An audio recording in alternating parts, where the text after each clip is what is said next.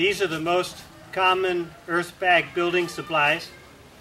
This is a standard bag, polypropylene bag, about 18 inches by 30 inches, measured flat and empty.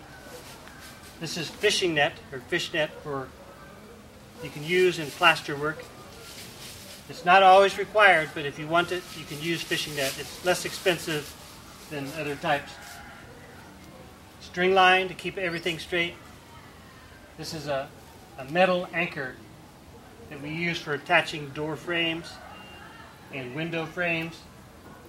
You nail into the earth bag and then screw into the wood. We have tie wire for closing our bags, for stitching the bags closed. We have fasteners, either fencing staples or nails. We have a bucket to show you soil, good moist soil with the clay gravel mix.